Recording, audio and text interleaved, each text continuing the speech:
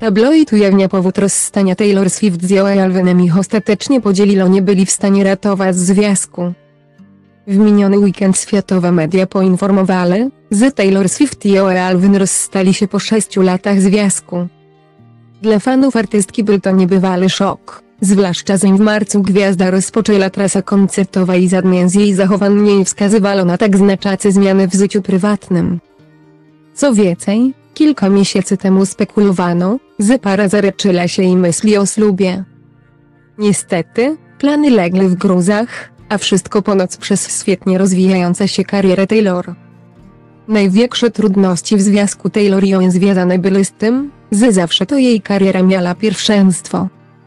Przecinek chciał rozwinąć swoja w Hollywood, ale pozostawał w cieniu Taylor. To ich ostatecznie podzieliło, po pandemii różnice między nimi stały się jeszcze bardziej widoczne. Próbowali wszystkiego, co mogli, ale ostatecznie nie byli w stanie uratować związku, podaje Daily Mail. Dalsza część artykułu pod materiałem wideo. Fani Taylor ją wyczekuje, a z której z nich wyda oświadczenie w sprawie namnażających się plotek. Do tego czasu kolejni informatorzy z otoczenia bylech zakochanych donoszą mediom o prawdopodobnych przyczynach rozstania. People podaje, że różnice w ich osobowościach stały się trudniejsze do zignorowania po latach spędzonych razem.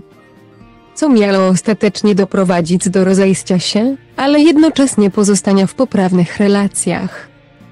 Wokalistka i aktor mieli ponadto oddalić się od siebie, co potwierdzałoby tezę wielu fanów którzy od przeszłego miesiąca zastanawiali się, dlaczego Alvin nie pojawił się do tej pory na żadnym z koncertów Taylor podczas jej THERS Tour.